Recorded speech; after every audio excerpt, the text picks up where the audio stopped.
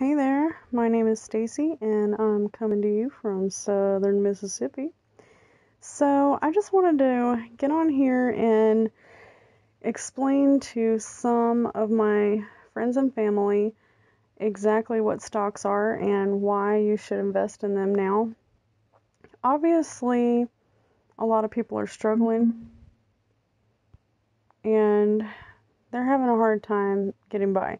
So, being that the stock market is extra volatile, they may not really want to put any of their money into it.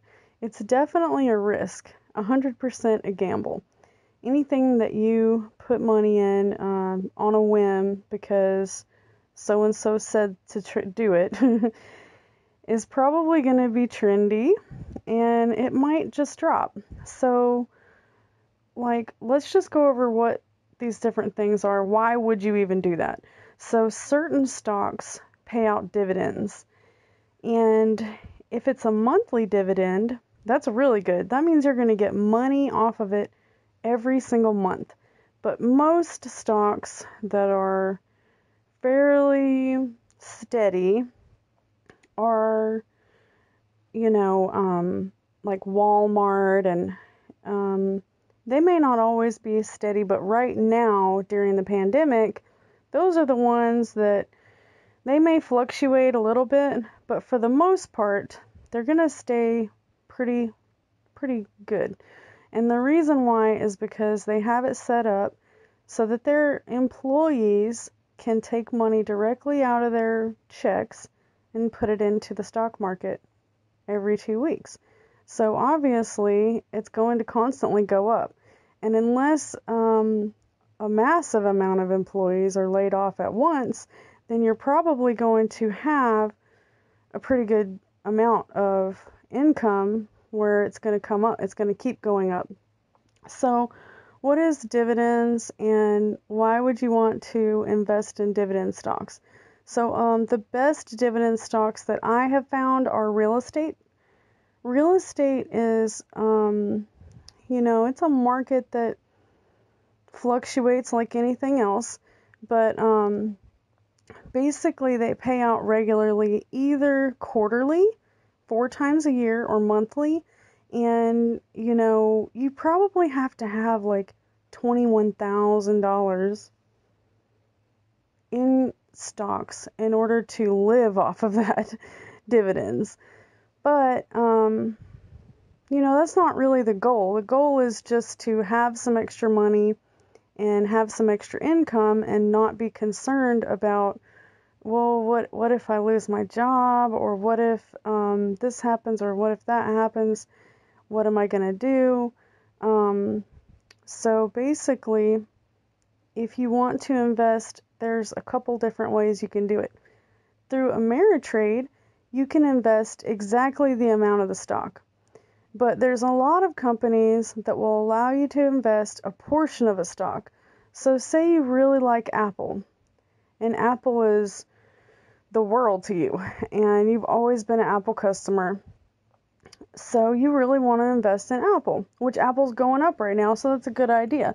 But um, maybe you just uh, don't have the money to put one full stock in there. Well, there's a lot of places that you can go um, download the app and you can just invest in a small portion of it. For example, Tesla and a lot of different um, places like that, you know, you may not be able to afford it. And that's why they split the stocks so often so that it's more affordable for the common man, you know, the middle class, the lower class just because you're you know, you might be struggling with your bills and you might think, well, I really can't afford that right now. But, um, you know, I bet you there's something in your budget that you can cut out that's probably bad for you and take a couple dollars and put it towards a stock. And um, right now, there are there's penny stocks you can look into the penny stocks, but right now everything's so low that when it does, like especially the travel stocks, you know, some of these travel stocks, um, being that I was in the hospitality industry for so long, I, I really, um,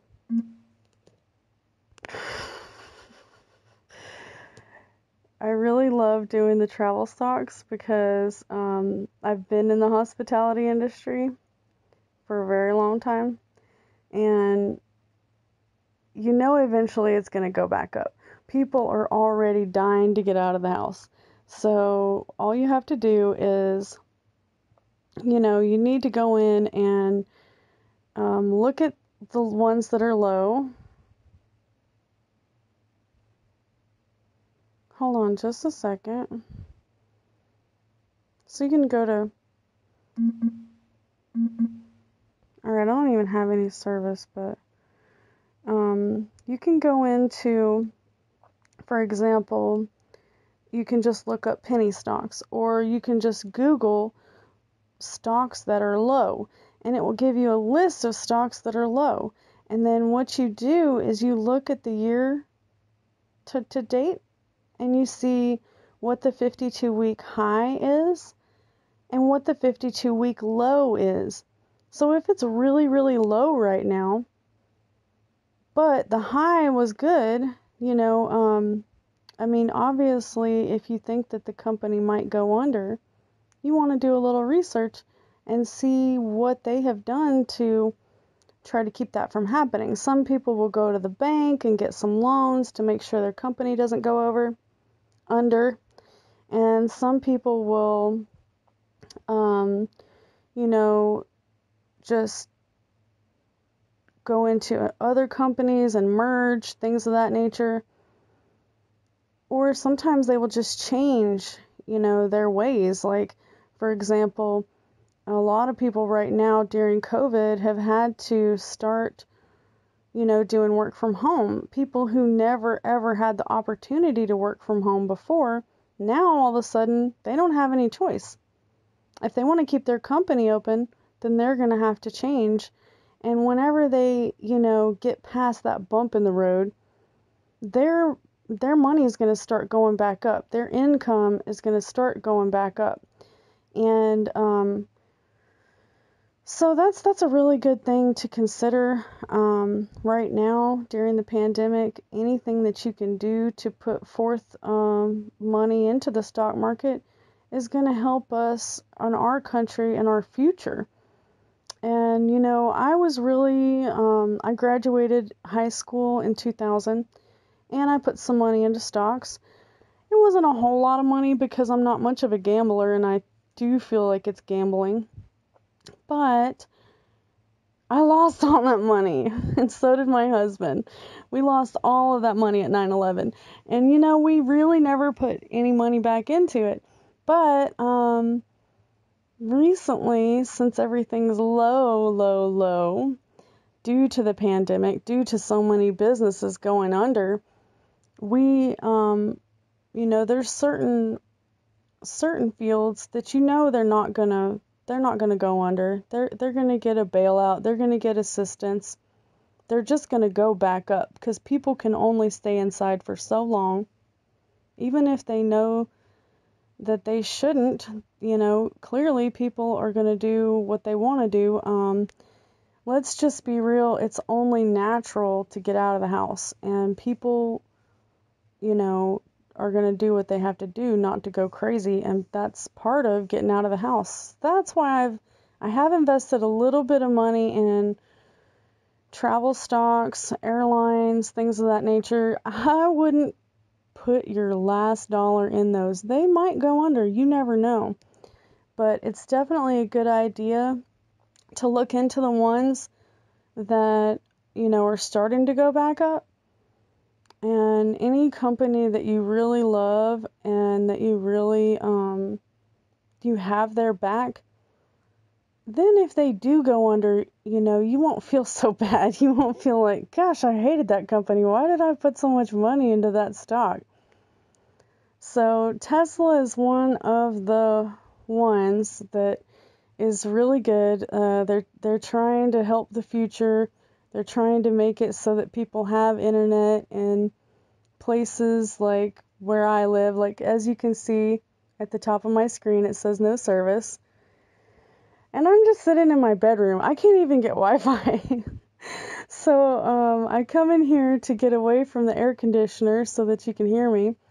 But I really planned on using my internet to help me with this video, but I can't even get internet service in my bedroom. So I can't get a signal and I can't get Wi Fi.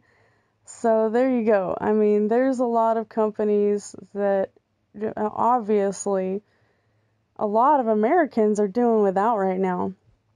They may not be able to do their children's schoolwork from their house. I know that when I was a kid, you know, 20 years, 25, 30 years ago, I did not have internet. And my neighbors didn't even have internet. Uh, my grandparents were much wealthier than me and they did not have internet. So only like the very, very rich, well to do businesses in my town that I grew up in had internet. And so, you know, I learned it at school. I learned, you know, about the internet. And a lot of people in my generation absolutely refuse to have anything to do with the internet or web design or newer model cell phones. They don't want to be tracked. They don't want that technology. But um, but really, it's extremely helpful. You know, in during the Spanish influenza, they did not have the internet. We are so fortunate to have these things that anyone that is trying to help us to better ourselves and, you know, survive the pandemic, whatever you have to do, um, those are the companies that we need to be investing in, such as Apple, Tesla.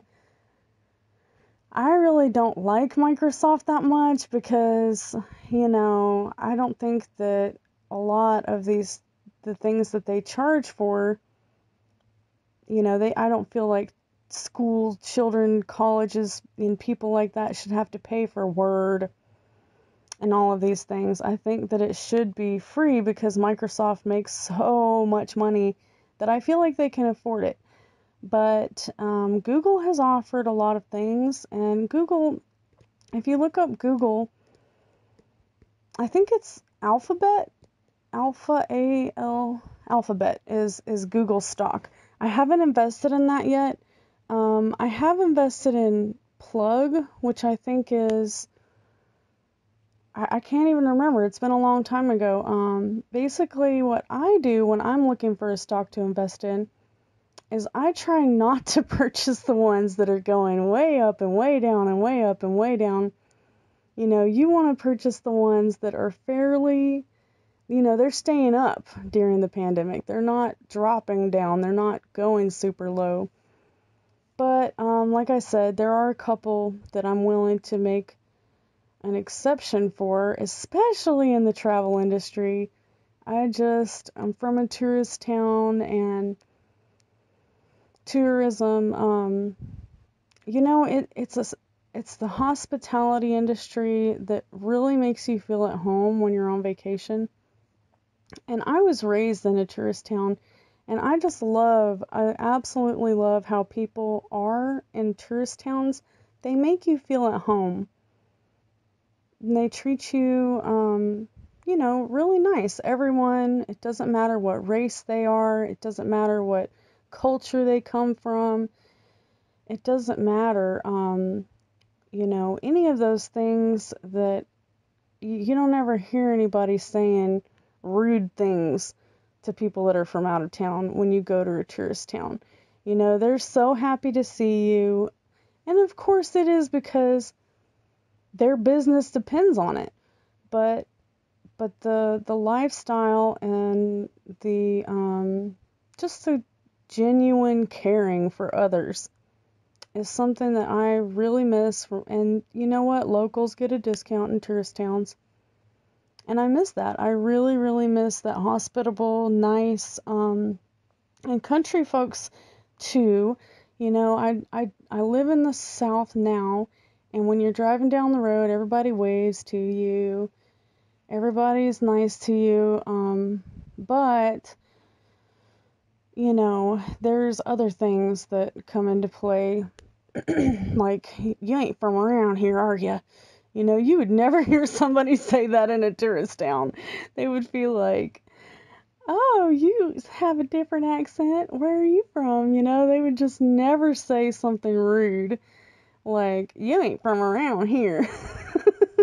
they would always just be very happy to see you. And so it doesn't bother me at all to invest my money in companies that are going to help our future and that are going to help tourism grow. Even if I lose that money, it's going to be well spent money. I'm going to know that I helped out some people who genuinely, um, most likely, um, are people, people person, you know, people, people.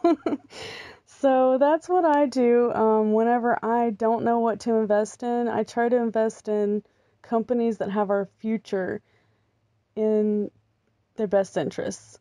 Um, a lot of like my husband, he's a little bit more technical than me. He really, really likes like lithium stocks, and lithium is what batteries are made of, and solar panels, and all these.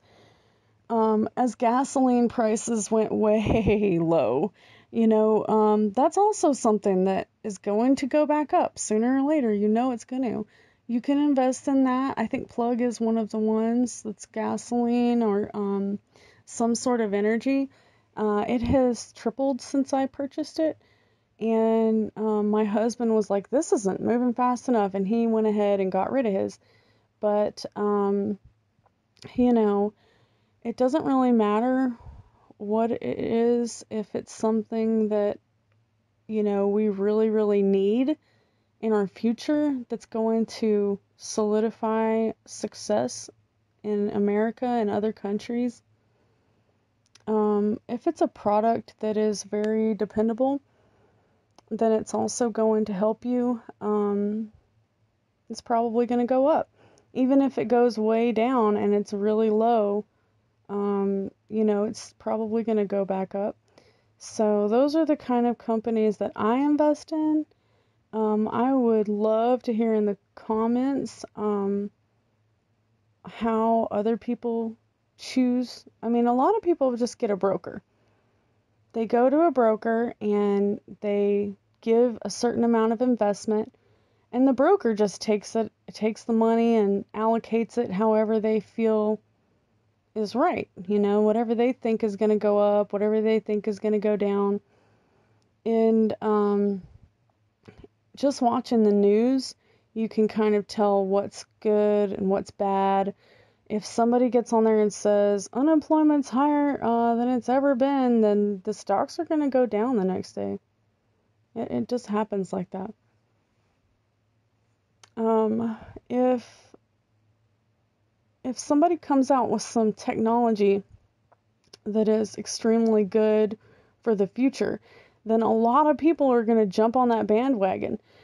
And whenever all the people who've been investing in that for a long time see that, they might take some of that money out. So you might put your money in today whenever when a stock is going up rapidly, and tomorrow it might be less than it was when you purchased it, which of course you don't want to do that. And then a lot of people, especially um, you know, investors are going to pull their money out. They're not going to hold on to something that's going down.